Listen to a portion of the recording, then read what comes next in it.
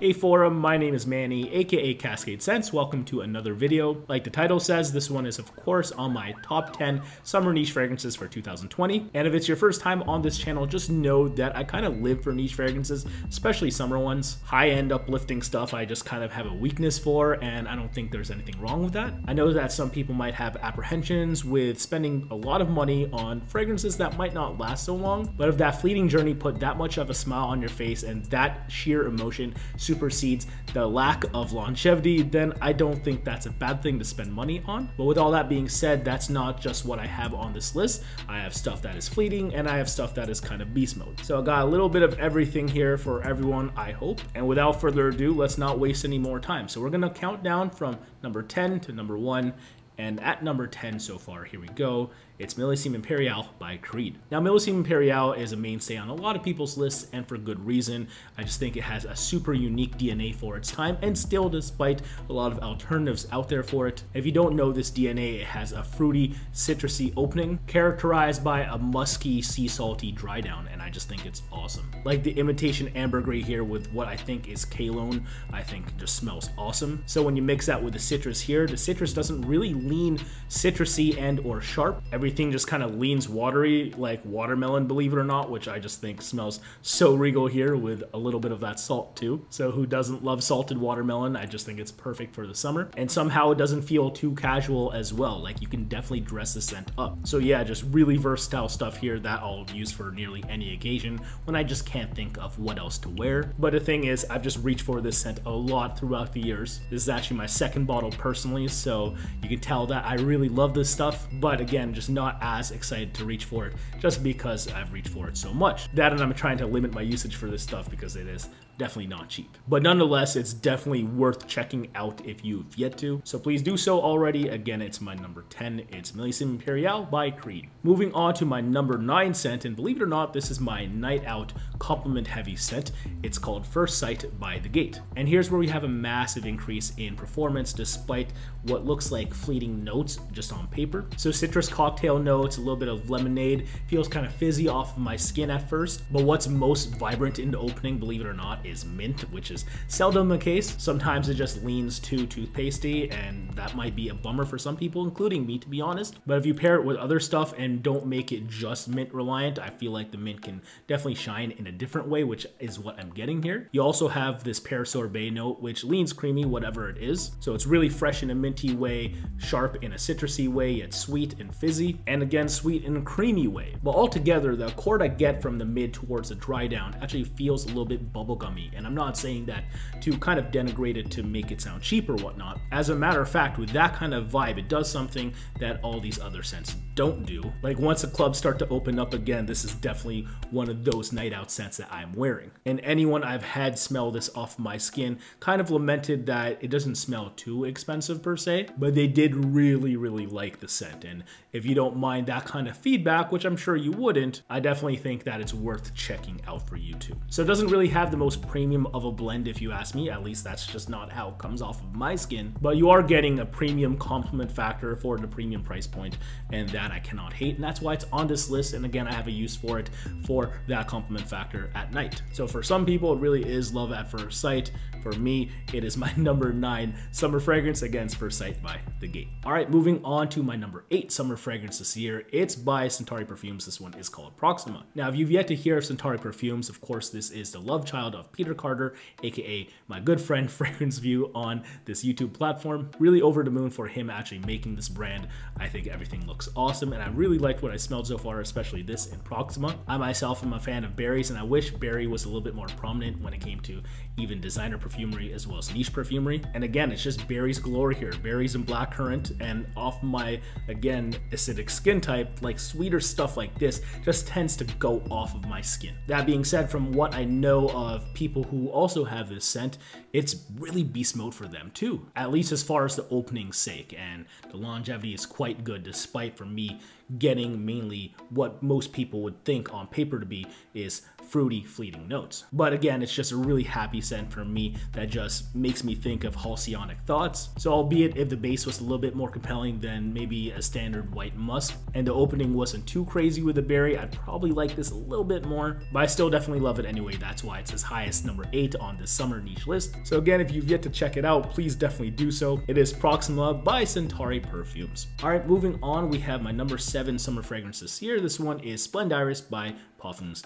Now I'm a big fan of this scent mainly because you get something here that's kind of different from everything else here. And this is like my quote unquote more like grim slash bad weather scent. I guess you can call it my rainy day fragrance for the summer just because for me in southern Ontario, Canada with the Great Lakes around, the weather kind of gets volatile as in it's not dangerous per se, but sometimes it just can't make up its mind. Between beautiful sunlight where you can find yourself just chilling outside in the mid 80s to low 90s you still have super heavy torrential downpours here and there, believe it or not. And with that being said, and some overcast weather as well, that's why I still have this for the summer. Admittedly, it leans spring-ish with its violet. Violet's a very green slash grassy, almost floral kind of note, but doesn't lean stuffy in my personal opinion. For me, it's kind of like walking through a field of grass. Throw in some iris in there, which is the namesake of the scent.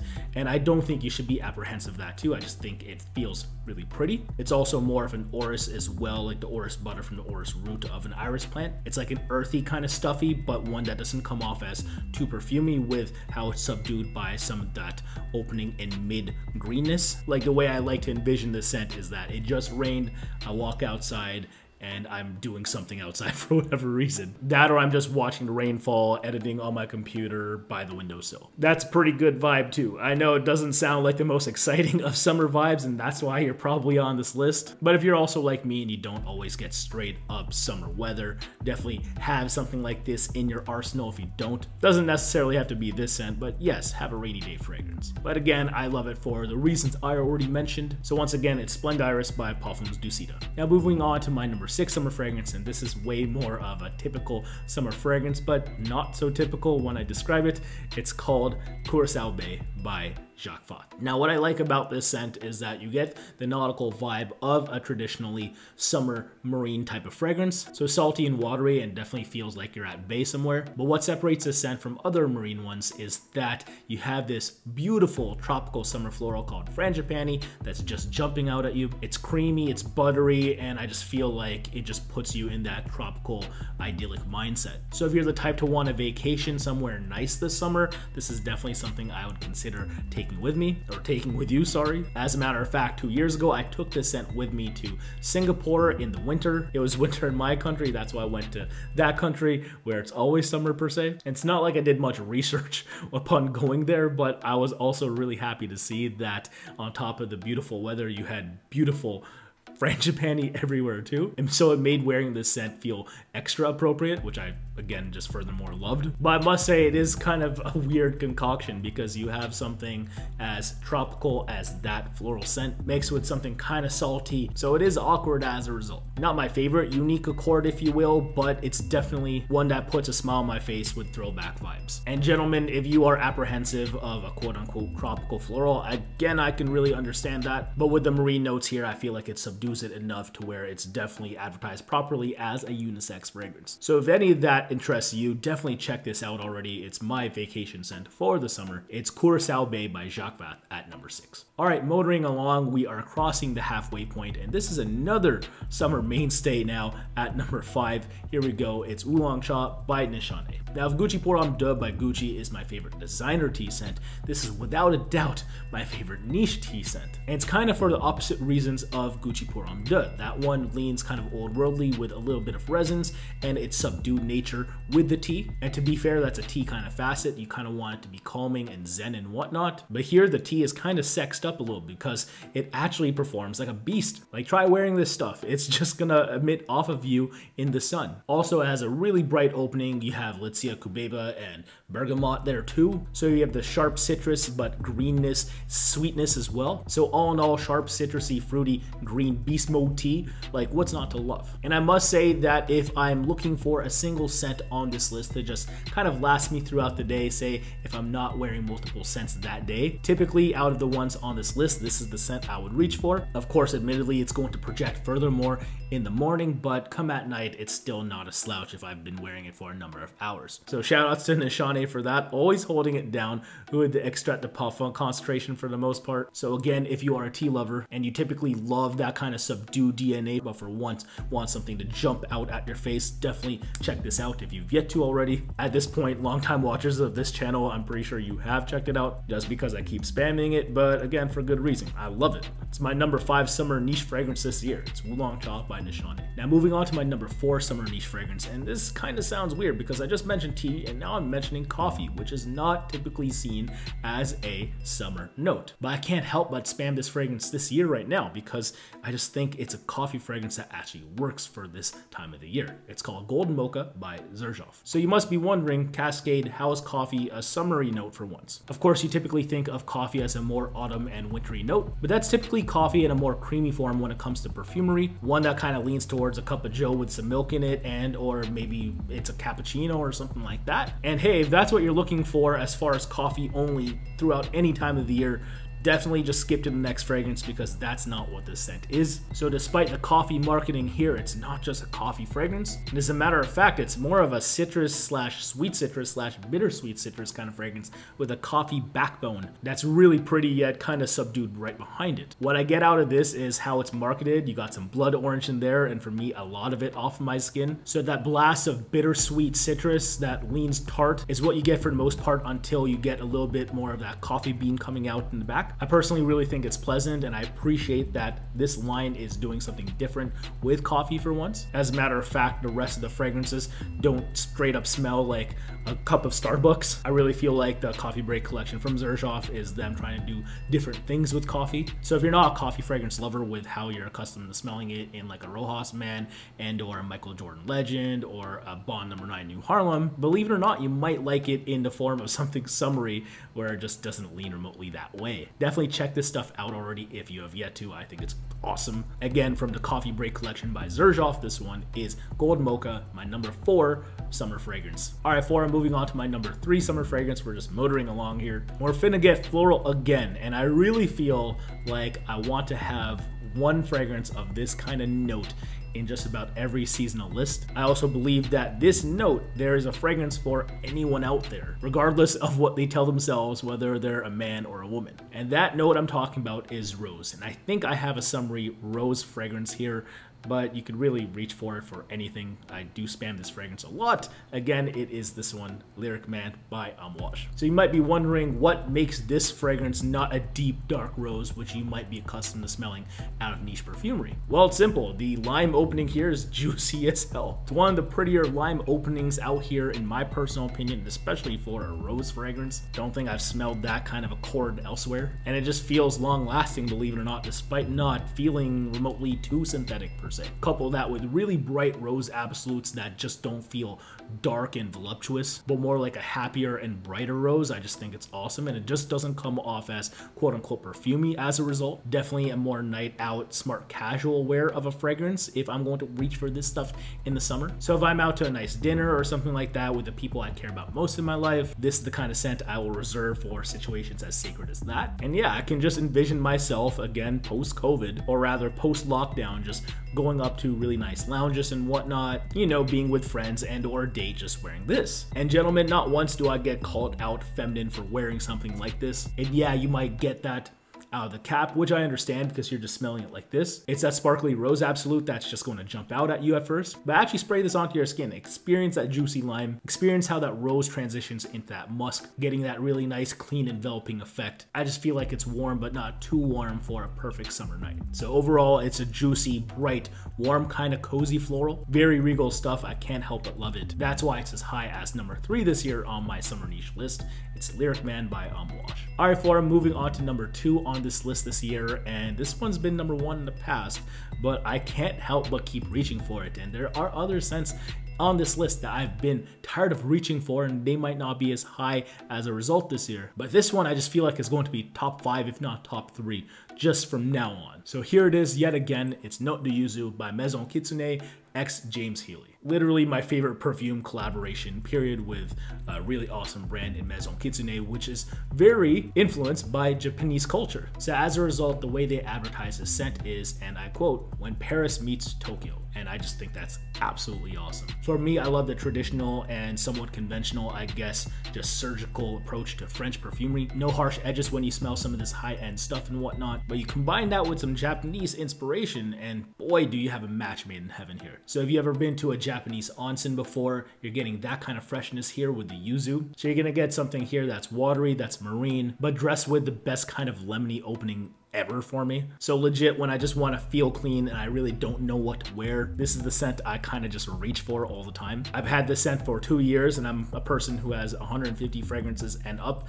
And I think this is quite saying much where I'm actually halfway gone on this bottle. Definitely one I'll have to buy a backup or two of more. But for me to love this scent despite being so fleeting, I just think is awesome. So again, it's one of those cases where despite how fleeting it is, I enjoy the emotion that much that it supersedes the quote unquote lack of value. But because it's perhaps the lightest performing scent on this list, it's definitely one I would be apprehensive about blind buying. So test it out on your skin, see if it's for you. If you like that kind of journey, clean, fresh, citrusy, east meet west kind of inspiration. I just think it's overall super lovely. The longest title on pretty much any list I put it on, it's Note de Yuzu by Maison Kitsune X James Heeley, this time at number two. But we finally arrived at the main event of the evening. I feel like I've compiled quite the list of variety when it comes to any summer list I've ever compiled ever. I'm actually really proud of what I've been able to compile this year for y'all because I'm genuinely really excited again to wear all this stuff for the reasons I've stated. But I'm even more proud to wear this stuff for the reasons I'm gonna say. That's why it's my number one. And here it is. It's Riviera Drive by Atelier des Ors. Now when the Riviera collection was initially announced by Atelier des Ors, of course I was head over heels for the presentation. How can you not be? You got the classic Goldschlager-esque gold flakes in the Atelier des Ors bottle, but this time dressed in something summery and blue. And I was hoping I'd find something within the line that smelled just as beautiful as this bottle looks. And luckily for me, I found something here in Riviera Drive. I think this is the ultimate masculine summer fragrance on this list. It's one that doesn't necessarily scream, if anything, but picture yourself kind of dressed up, smart casual, if not smarter, like leaning formal. Maybe you're wearing stuff a little looser, you have that sprezzatura kind of vibe. This scent is actually inspired by To Catch a Thief by Alfred Hitchcock with Cary Grant and Grace Kelly, if you've yet to see that movie. That movie was pretty AF for its time, and I'm definitely feeling that kind of inspiration into this fragrance. That's what this scent is for me, and I just love that kind of vibe that I'm getting out of it. So to achieve that vibe, I'm getting an herbal take on lemon here. It's still a juicy lemon, don't get me wrong, but you're getting greener, more herbaceous facets too, which I just think lean more masculine. As the stuff starts to dry down, you have a little bit of absinthe in there as well as patchouli. So leans intoxicating in a more high-end traditional way. And I know I keep saying these things about how it just makes you feel more esteemed, but I don't think that this quote unquote only leans mature. I'd say if you're classy enough in your 20s to be able to rock this, definitely do it. But again, I just can't help but think how picturesque this stuff is and how makes me feel emotionally. Like I was on the Riviera as recently as September of last year. So to take in the sea air there and to just chill by the greens of Hotel Terrace with a drink in hand, I just think is this scent right here. Again, it's just a really cool feeling. So I can't help but love it as a result. And I really hope you guys do too. So yeah, I'm just biased towards that vibe vibe, and I definitely feel the soul of this fragrance. That's why I have it as high as number one this year. So again, if you've yet to check it out, it is called Riviera Drive by Atelier des Ors. So with that being said, Forum, I think that about does it for me this year when it comes to my summer niche fragrances top 10. This is literally, in retrospect, one of my favorite lists I've ever compiled, and I don't normally feel like I'm feeling myself after every list that I've ever made, but I must say I feel really flexy right now. Again, that's what scents like these will make you feel like when you're in the summer. So if you like to treat your summertime with some gravity, you're going to the beach, you're going to the country club, things like that. If you're going to your downtown core for happy hour and or shopping, or maybe you're just kicking back at home, just taking in your day off, I really do feel like I have everything here for everyone or at least one thing for everyone. So yeah, what do you think of that forum? Please let me know in the comment section below if you've yet to. Is there anything you think I missed as well? Please let me know too. I'm always looking forward to checking out new niche fragrances, especially for the summer because I, again, love summery niche fragrances. But yeah, also on top of that, if you enjoyed the video, definitely give this video a thumbs up. And if you really, really enjoyed it, definitely subscribe if you yet to so you don't miss any uploads like this. And if you extra don't want to miss any uploads like this, also hit the notification bell. It helps me and it helps you So yeah, again, Forum, thank you for the ongoing support as always. And until then, that about does it for me. So take care for now. Peace out. Bye. Wear your fragrances.